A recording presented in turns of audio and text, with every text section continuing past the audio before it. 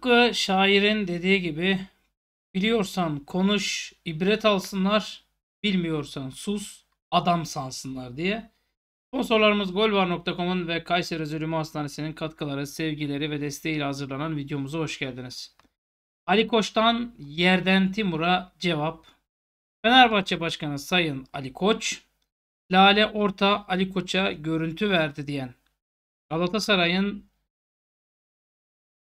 Sportif AŞ Başkan Vekili ve futboldan bir an önce uzaklaştırılması gereken yerden Timur adlı şahsa cevaplar verdi. Neden futboldan bir an önce uzaklaştırılması gereken diyorum. Video bittiği zaman anlayacaksınız. Öncelikle şunu söyleyeyim. Ülkemizde öyle bir durum var ki, öyle bir ortam var ki, öyle bir kaotizm var ki bir insan bir insana iftira attığında ya da bir iddiada bulunduğunda iddiayı çıkaran kişiye değil de karşı tarafı hadi ispatla. Hadi suçsuzluğunu ispatla diyor. Şimdi ben diyorum ki dünyanın hiçbir yerinde dünyanın hiçbir yerinde cep telefonu yoktur. Böyle bir iddiada bulunuyorum. Birisi çıktı bak var. Bitti iddiam çürüdü. Dünyada cep telefonu vardır. Bulana kadar arayın. Bulana kadar. Orada yok, burada yok. İşte dünyada uranyum, potasyum vardır misal. Atıyorum. İşte bizim ülkemizde nedir biliyor musunuz? Bizim ülkemizde maalesef işleyiş çok ters. Ve bu terslik nereye kadar gidiyor? Erden Timur ne demişti? Lale Orta'nın var görüntüsünü Ali Koç'a göndermesi. Bunun kaydı var. Nerede olduğunu söyleyeceğim. Bunlar sokak dedikodusu değil. 3 Şubat 2023'te gerçekleşiyor. Lale Orta'nın MHK başkan olmasından 5 gün sonra Var odasına girişleri bildirmek zorundasınız. Orta 3 Şubat sabah Adana Demirspor Fenerbahçe maçının kayıtlarını izlemek istiyor. Mert Hakan'ın attığı güzel bir gol iptal edilmişti. Dali Orta var hakemi Koray Gençerler'e iptal nedenini soruyor. Şimdi önce şunu söyleyeyim. Olay gerçekse bile haklı. İptal sebebi ne kardeşim? Fıstık gibi gol. Niye iptal ettiniz? Bak buraya kadar bence hiçbir şey yok. Bak aynısını Galatasaray'ın başına gelsin. Aynısını yapsın. Aynı cümleyi kuracağım. Abi tertemiz gol. Niye iptal ettin diye sormuş. Evet neyse. Elle temastan iptal ettiğini söylüyor. O görüntü sadece var odasında var.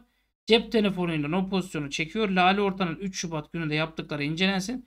Çünkü odadaki kayıtlar bir yıl saklanıyor. Lale Orta bu pozisyonu Ali Koç'a gönderdim demiş mi? Koray Gençerler bir buçuk ay maç almadı. Lale Orta bu maçta ciddi hatalar olmadığını söyledi ama neden maç vermedi? Bu var görüntüsü yollamanın başka maçlarda olmadığını nereden bileceğiz? Ali Koç Lale Orta'nın var görüntüsü ya da herhangi bir görüntüyü bizzat tarafıma göndermesi ya da servis etmesi gibi bir olay katiyen gerçekleşmemiştir. Külliyen yalandır, iftiradır. Bu şekilde bir görüntü gönderme olayı kesinlikle yaşanmadı. Ama burada asıl konu bu yalanı asıl bu kadar kolaylıkla dillendirebildikleri. Çünkü kayıt var, olayı biliyoruz diyorlar. Bu kayıt ya da görüntüler varsa yerden Timur'a kimlerden servis ediyor? E, kimlerden servis ediyor? Arkadaşlar sorulması gereken bu değil mi zaten? Kim servis ediyor? Kim bunlara içeriden ajanlık köstebeklik yapıyor? Bu servis edilme olayı varsa bunu servis edenler bu kurguyu Erden Timur ile planlayanlar mıdır? Kendileri de her zaman olduğu gibi bizi şaşırtmayacak şekilde bir yalanın parçası olmuşlardır. Bu kadar büyük yalana da akılsız erdirmek çok zor, çok güç diyor. Yerden Timur'un iddiaları ispatı zor olmayan hatta incelenmesi, araştırılması ve gerçeklerin ortaya konması çok kolay söylemlerdir. TFF harekete geçerek ilgilileri görevlendirip araştırma yaptırarak bu iddia ve söylemlere yönelik gerçekleri ortaya koyabilir. Keza bu konuya karşı duyarsız kalınırsa bu tarz manipülatif söylemlerin önü iyice açılmış olacak. Nitekim geçen sezon bunu gördük Türk futboluna karşı sorumluluk sahibi bir yaklaşımda olmak bunu gerektirir. Can Gebetaş da diyor hem boş hem de ciddiyetsiz. Neden ciddiyetsiz? Alın size 3 örnek. Bakalım 3 örnek neymiş? 1. Hakemden bahsediyor. Eşgüdüm toplantısına taraflı olduğunu söylediği biriyle gittiğini söylüyor. Bunları takip ettik, raporladık diyor. Bunu TFF'ye ilettiniz mi? Ne cevap aldınız sorusuna da bilmiyorum, bakarım, size öğrenir haber veririm diyor. 2. Daha ligin başı Şimdiden yaygara koparılır mı? Bunları yapanlar ortamı kaosa sürüklemeye çalışıyor diyor. Dursun Özbey'in daha sezonun ikinci haftasında 50 yıldır böyle hakem yönetimi görmedim açıklaması hatırlatılınca da bu sefer Biz hiçbir zaman açıklama yapmayacağız demedik yanıtını veriyor. 3. Koçum borcu benimkinin 8 katı, 10 katı, 30 katı diye bir cümle duyduk. Bu bile ne kadar çelişki içinde olduklarını gösteriyor. 8 kat ile 30 kat arasındaki fark komik, gülünç seviyelerdedir, akıl tutulmasıdır. Hepsinin detaylandırmaya çalışsak sayfalar yetmez diyor. Bundan sonra ne olacak? Bu tartışmalar nereye varacak? Biz aslında yerden Timur'un söylediklerinden daha çok TFF'nin neler yapacağıyla daha fazla ilgiliyiz. Bizce burada TFF'ye çok büyük görev düşüyor. MHK başkanına, temsilcilere, hakemlere. Ben şunu söyleyeyim. Ya tamamen birileri onurunu satacak ya da birileri olması gerekeni yapacak. Bakalım sonuç ne olacak. Herkese suçlamaları var. Dolayısıyla TFF'nin artık bir sorumluluk üstlenip tavır koyması gerektiğini düşünüyoruz. Artık programdan sonra da ölü taklidi yapmazlar herhalde diyor. Yaptılar. Çünkü yerden Bey iddiaları ile ilgili elinde belgeler olduğunu da söylüyor. Burada araştırılması gereken, dibine kadar gidilmesi gereken konular olduğunu düşünüyoruz. Kısacası federasyon kulaklarını tıkayıp ölü taklidi yapmamalı. Sosyal medyada örgütlü bir yapı olduğuna inanıyor musunuz? Türk sporunda örgütlü bir yapı arıyorlarsa geçen yıl bazı medya maymunlar, e, medya mensuplarından trollere kadar yazım yanlışı bile düzeltilmeden harfi harfine aynı anda atılan tweetlere baksınlar. Son olarak bireysel olarak sürekli yayınlara çıkmak kaosu büyütür. Eğer yerden Timur Bey kaosun büyümemesi konusunda samimi ise Sayın Başkanımız Ali Koç'un canlı yayın daveti daha önce de 3-4 kez davet etmiştik. Hala geçerli. Buyurun Odri meydan diyor. Şimdi bakın karşı taraf çeşit çeşit iddialar, çeşit çeşit iftiralar atıyor. Bir Allah'ın kulu da demiyor ki bir sen bunu nereden aldın? Bu arada 54 58.400 için teşekkürler. Sen bunu nereden aldın? İki Koray Gençerler mi sızdırdı sana? Ben olsam resmi bir açıklama yaparım. Koray Gençerler bu mesele açık aydınlanana kadar hiçbir şekilde hiçbir görev verilmeyecektir federasyon tarafından. Bu neyi sağlar? İçerideki bütün köstebeklerin dışarıya bilgi sızdırmasını. 2. Erden Timur bütün spor müsabakalarından, yöneticilikten ikinci emre kadar tedbir tedbirli tedbirsiz olarak ya da tedbirli olarak neyse men edilmiştir. Bunları ispatlayana kadar men edilmiştir. 3. Galatasaray Spor Kulübü eğer bunu ispatlayamazsa, elindeki belgeleri sunmazsa geçen sezonki şampiyonlukta şaibeli bir hal alacağı için tekrar değerlendirmeye alınacaktır diye. Bakın bakalım ne oluyor. Şimdi Lale orada da açıklamış tamamen asılsız bir haber diye. Şimdi Lale Orta'nın 3 Şubat sabahı var odası ziyareti falan filan sözlerine cevap veren orada kesinlikle ne Sayın Ali Koç'a ne diğer kulüp başkan ve yöneticilerine tarafından herhangi bir görüntü gönderilmemiştir. Tamamen asılsız bir habersiz diyor. Asılsız bir haberdir diyor. Hocam bu görüntüleri vermedim dediniz. İddia var odasına gidip görüntü aldığınız yönünde odaya girdiniz mi diyor. MHK başkanının girmeyeceği var odası olabilir mi? Düşünsenize mesela Cumhurbaşkanına diyorsunuz ki Cumhurbaşkanına Adalet Bakanı ile hiç görüşüyor musunuz? O da diyor ki yo ben niye görüşeyim? Öyle bir cevap bekliyor musunuz? Ya da Adalet Bakanı'na şey diyor musunuz? Hakimler, savcılar, yüksek kuruldan hiç görüşüyor musunuz? Mesela valiye hiç şunu soruyor musunuz? Muhtarlarla hiç görüşüyor musunuz? Ya da belediye başkanına. Ya da valiye hiç kaymakamlarla görüşüyor musunuz? Neyse MHK başkanının görevi nedir? Ben o odaya her hafta girdim. Hakem performanslarını değerlendirmesi için girdim. İnsanın kendi evine girmesi kadar doğal değil mi bu odaya girmesi? Odadan görüntü aldığımız iddiası diyor. Detaylı açıklamayı daha sonra yapacağım. Arkadaşlar bu açıklamayı niye yapmadığını da öğrendim ben. Şu anda bakın devlette kademe atlayamazsınız. Kademe atlarsanız suçtur. Yani mesela Milli Eğitim Bakanı hakkında ben konuşma yapacağım. Yapamam arkadaşlar. Ya bağlayayım yapamam.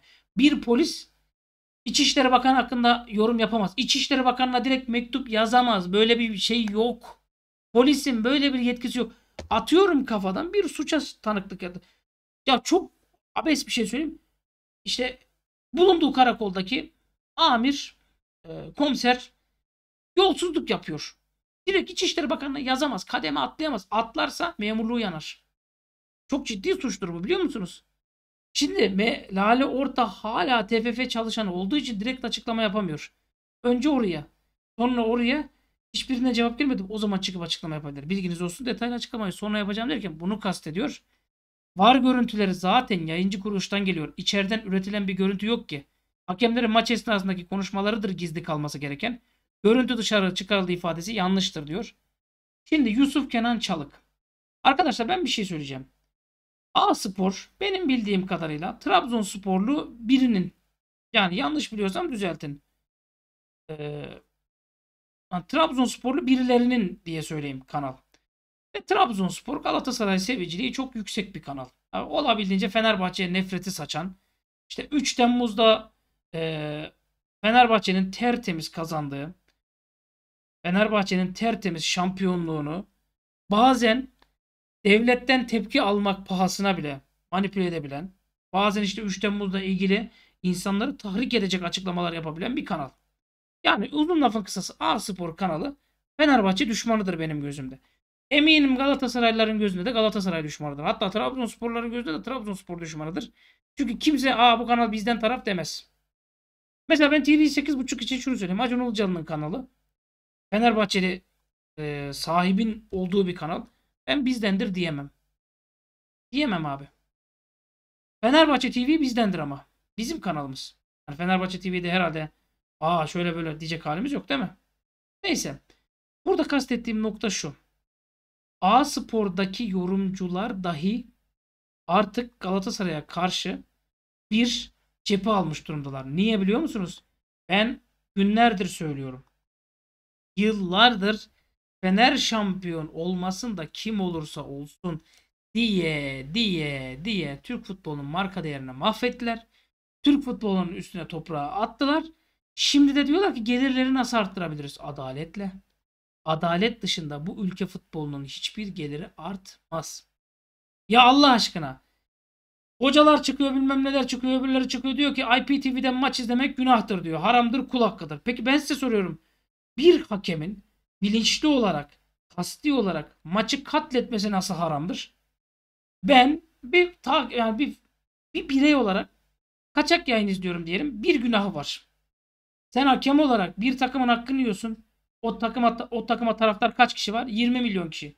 O ligde o maçtan etkilenen kaç kişi var? Kaç kişi var?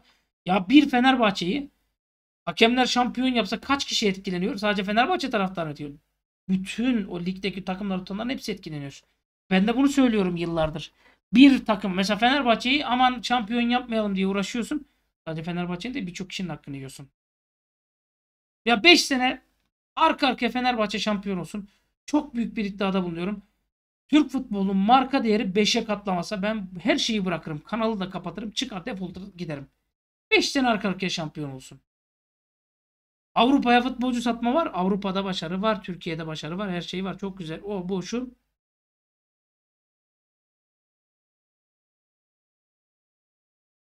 Yani geçeceksiniz bunu. Şimdi neyse konu dağılmasın. Yusuf Kenan Çalık. Erdem Bey'in açıklamalarından ki önemli parça Lale Orta'nın var odasına gidip görüntüyü kaydedip Sayın Ali Koç'a göndermesiydi. Bununla ilgili elinde kanıt olduğunu kanıtlayabileceğini söyledi Erdem Timur. Hem Ali Koç hem Lale Orta bunu yalanladı. İddia sahibi olarak Erdem Timur'un bunu kanıtlaması lazım. Yoksa iddiadan iftiraya doğru kayan bir söylem olacak. Öyle değil mi? Ya iki kişi hakkında bir şey söylüyorsun. Mesela ben diyorum ki demem de Galatasaray Başkanı'ndan Beşiktaş Başkanı birbirlerini öptüler. İkisi de bana dava açtı. Ben de dedim ki alın size video kaydı. İkisini de öttürürüm orada. Alın bak. Elimde kayıt var. Bitti. Ama şu anki sistemde ben böyle bir şey söylüyorum. Diyorum ki hadi öpüşmediğinizi kanıtlayın.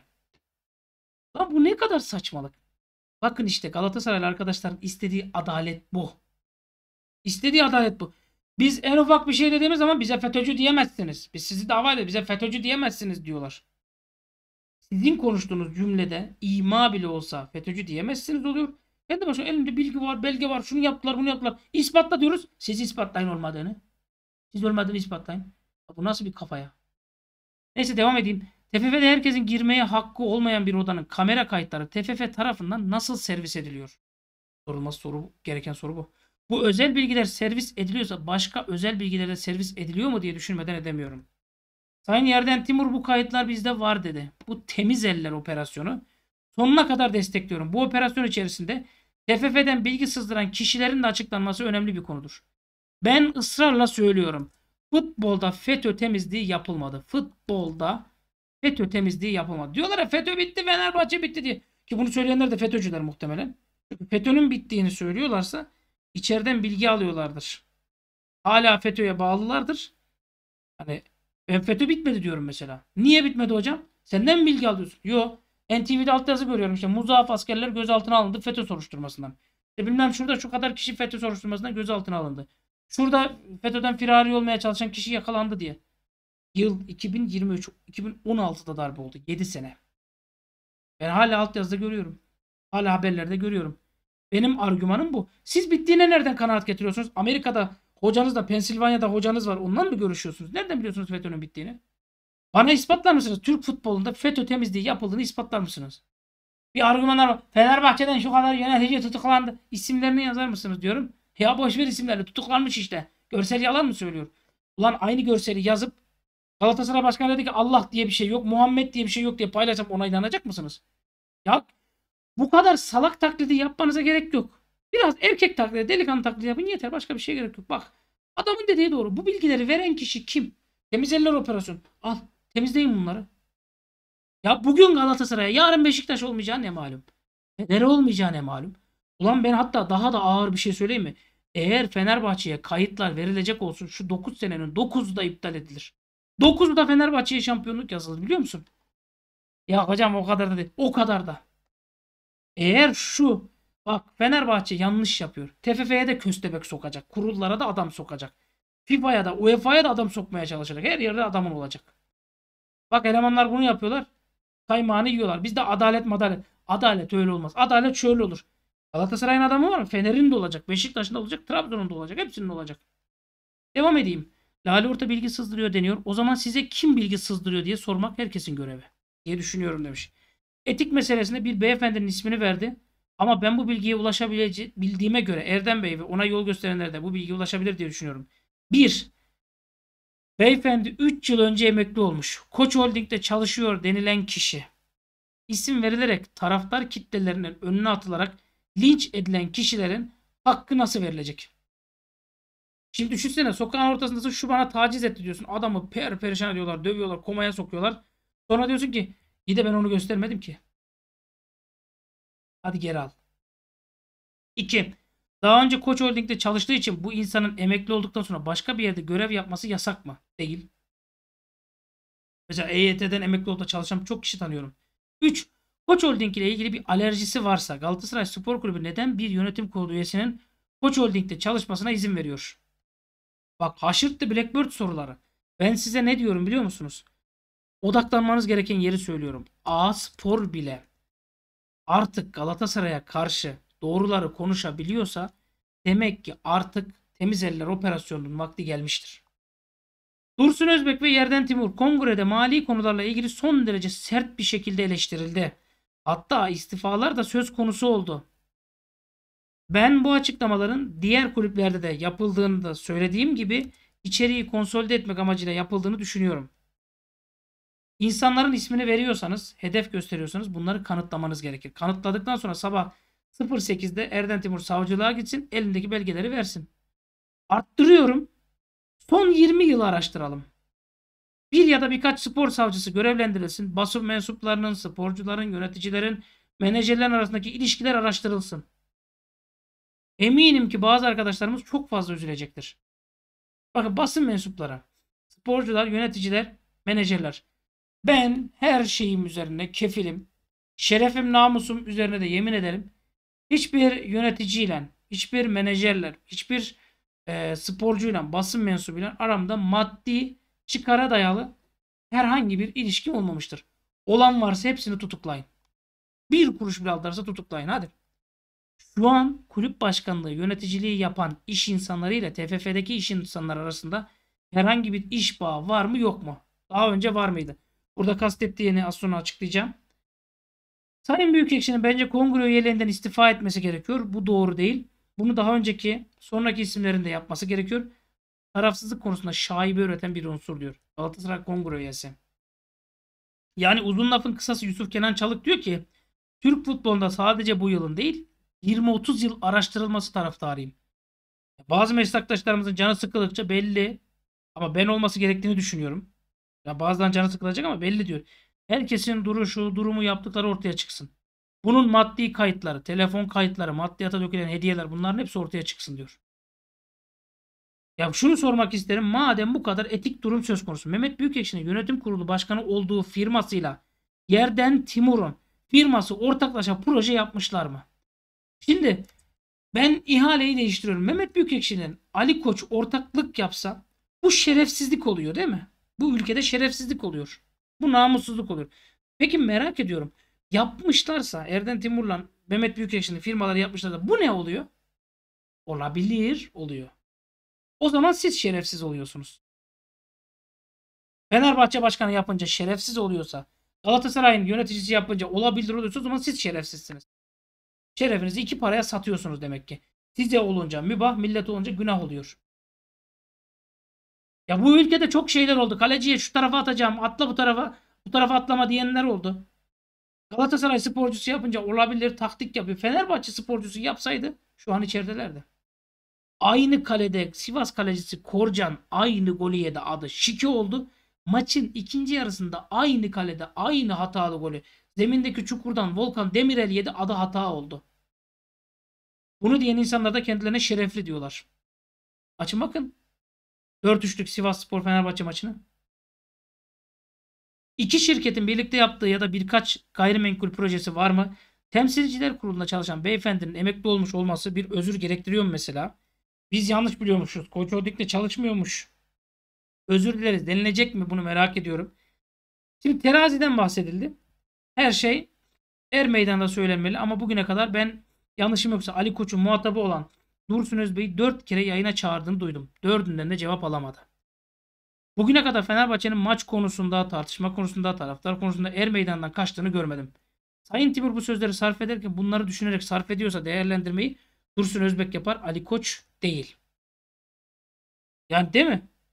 Teraziden kaçma meselesinde Erdem Timur'da Dursun Özbek'te bu konuda hem fikir olması gerekir. Erdem Timur biz şampiyonluk yarışını etkilemek istemedik. O yüzden açıklama yapmadık dedi. O zaman soruyu şöyle sormamız gerekiyor. Madem geçen sezon TFF ile ilgili sıkıntılar vardı. O zaman neden bu seçimde destekleme kararı aldınız? Bu soruların çözüleceği ile ilgili size bir teminat mı verildi? Bu konuları görüştünüz, çözdünüz mü? Çözdüyseniz şimdi niye gündeme taşıyorsunuz? Hakem konuşulmasını doğru bulmuyorum dedi. O zaman yine Sayın Başkan'a gönderme yapmış oluyor. Çünkü Sayın Özbek'te Trabzonspor maçı sonrasında çok ciddi tartışma yaratacak açıklamalarda bulundu. Ya burada bir hafıza sorunu var ya da açıklamalar çok iyi hazırlanmamış diyor. Ben şunu söyleyeyim. Galatasaray battı. Bitti. Mahvoldu. Anladınız mı? Konuyu saptırma peşindeler. Hatta ben size bir şey söyleyeyim mi? Bence yöneticiyken bunlar bir sürü borca girdiler ya cezaevine girmemek için kendilerini spordan men ettirip yöneticilikten atılıp bu e, yapılan harcamaları yeni gelecek yönetime kitleme peşindeler. Ben asıl hedeflerini buldum abi.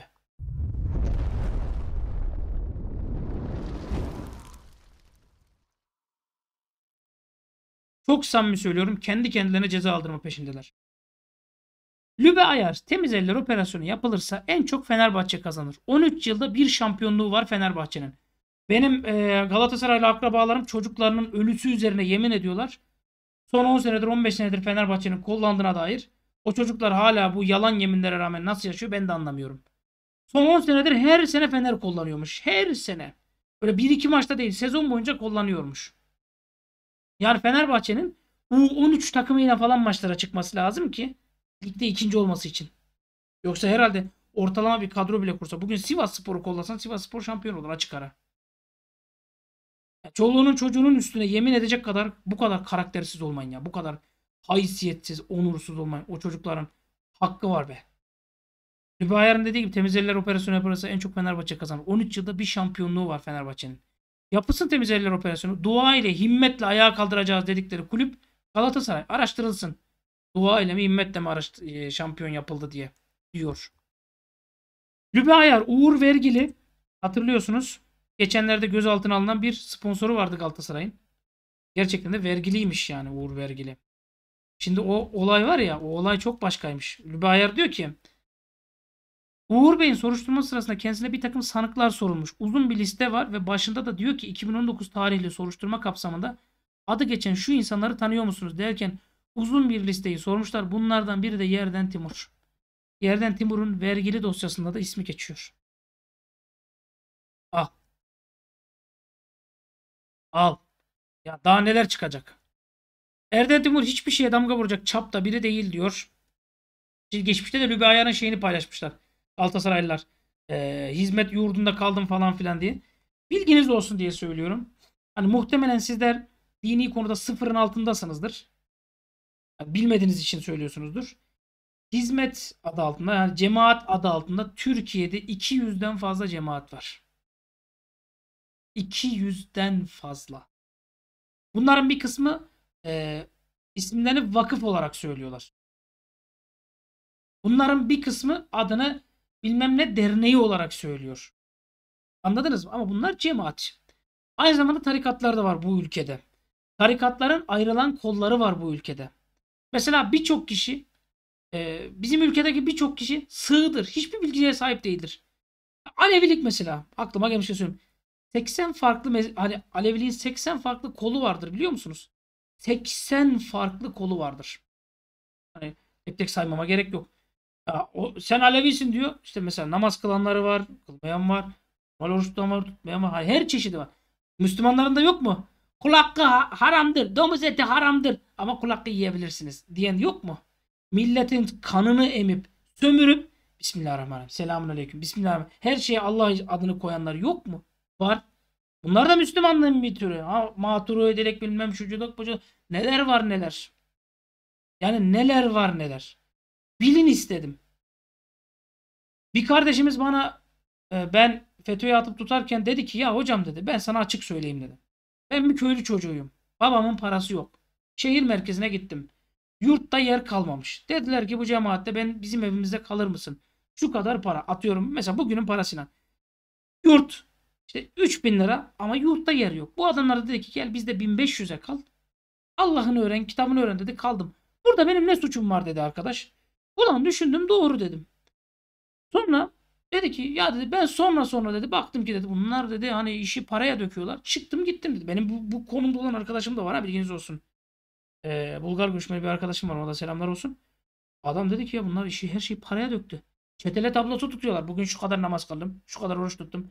Zaman gazetesinden şu kadar aldım. Küpürü şunlar diye. Tabii tabii bunların hepsini yapmışlar. E dedi bu dedi Allah'ın anlattığı din bu değil dedi. Bunlar ticarete dönüştürmüşler dedi. Sonra bağını kesti. Diyor ki şimdi sen bana söyle ben FETÖ'cü müyüm diyor. Sen FETÖ'cü değilsin. Bak FETÖ'cü olmak şunu gerektirir. Amacın şerefsizlik olacak.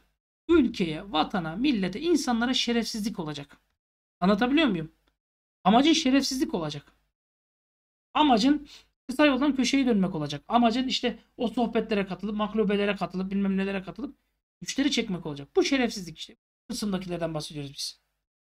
Ki bunu yapan arkadaşların da bir kısmı zaten ne olduğu belli. Anlatabiliyor muyum? Şimdi burada da Lübü Ayar demiş ki işte ben demiş hizmetin şeyinde kaldım. Bahsettiği başka bir kol. Bilginiz olsun. FETÖ'nünkilerden bahsetmiyor. Hizmet hareketi derken sadece FETÖ'nün hareketten bahsediyor. Başka hareketler de var bilginiz olsun. Ama yine aynısını söylüyorum. Bu kız başka bir ya şimdi Rasim Ozan Kütahyalı'nın şunun bunun hepsi Fethullah Gülen bir tarafını öpüyorlar mıydı? Onlar daha mı az suçlu? Bunlar daha mı az şeyciydi? Fethullah Gülen tarafındaydı. Geçiniz bunları. Devlet ne dedi? 17 27 20, 17 24 Aralık mıydı? 25 Aralık mıydı? Bu tarihten sonra FETÖ'ye yanlayanlar dedi sıkıntılıdır. Yani direkt FETÖ'nün bankasına para yatıranlar dedi. İşte e, gazete alanlar dedi sanırım. Bağış yapanlar. İşte değer e, neydi? Ney derileriydi? Kurban derilerini oraya verenler falan filan dedi. Bunlar dedi sıkıntılıdır dedi. Zaten memuriyetlerini falan bitirdikleri kişiler de genellikle bunlar yani. Daha uzun süreli yapanlar zaten adam içi dışı FETÖ'cü olmuş zaten ona saymıyorum. Anladınız mı demek istediğimi? Yoksa ben size sosyal medyada özellikle Galatasaraylı spor yorumcuları içerisinde neler çıkarırım. Mesela Nevzat Dindar'ın bir akrabası şey Sayın Öcalan falan filan diyen paylaşımlar yapmış. Bugün soruyordu şey. Bugün soruyordu. 12 numara falan. Yok şey. Lake of Tears soruyordu. Akraban neyin oluyor diye. Ya olabilir. Akrabanız, arkadaşınız. Benim yani farklı düşüncede birçok arkadaşım var. LGBT yok merak etmeyin. Hani PKK yanlısı arkadaşım var benim. Gerçekten söylüyorum var. Adam diyor ki PKK'da kendine göre haklı diyor. Öbür Atatürkçü var. Başka zihniyette var. Çok başka zihniyette var. Bir tek dediğim şeyde yok. Ben şunu söylüyorum. Diyorum ki ben bana karşı yaklaşımınızdan sorumluyum. Bana karşı yaptıklarınızdan sorumluyum. Beni satıyorsanız ama çok dört dörtlük Müslümansınız. Umurumda değil. Benim gözümde adam değilsiniz. Diyorum. Burada da yine aynı şeyi söylüyorum. Dikkat edin. Bu kadar iftira, bu kadar yalan, bu kadar manipülatif hareket son dakika şeyini verdiğim kısımdaki gibi oldu. Bunlar yöneticilikten kaçma peşindeler. Baktılar Fener iyi gidiyor.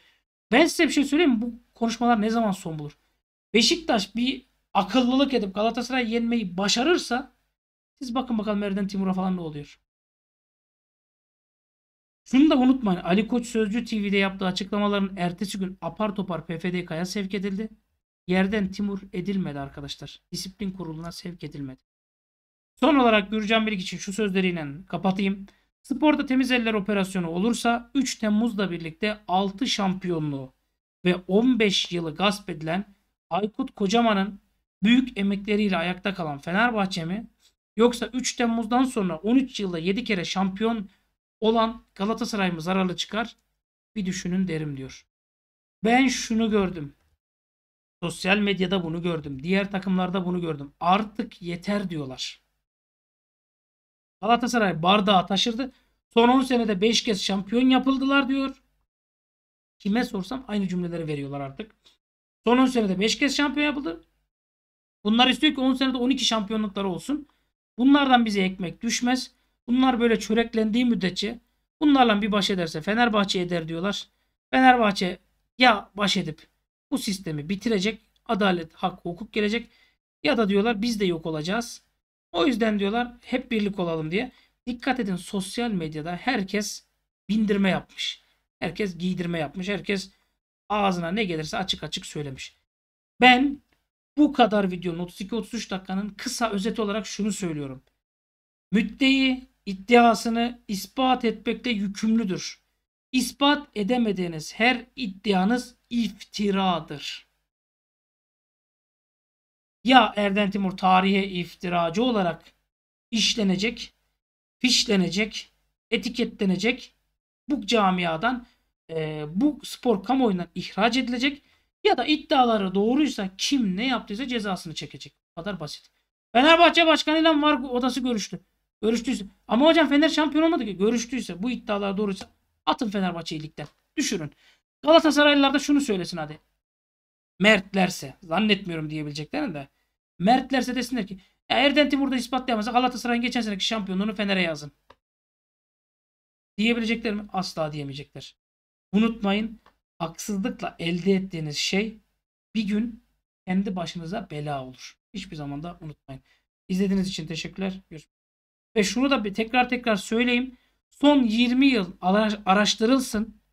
Hani Fenerbahçe'nin 5 yıldızından falan alay ediyorlar ya akıl arasına. Dangal Amiri diyor ki burada diyor 3 yıldız var diyor.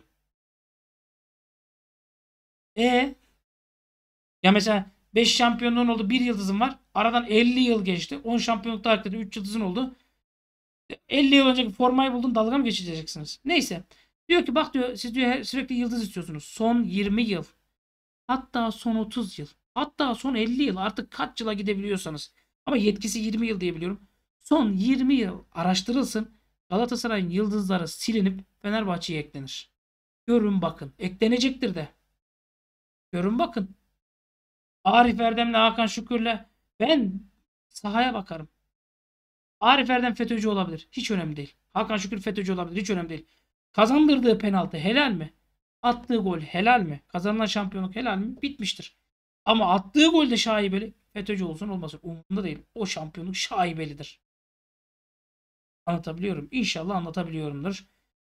Ve tekrar söylüyorum temiz eller operasyonu yapılırsa bilin bakalım en zararlı camia kim çıkacak.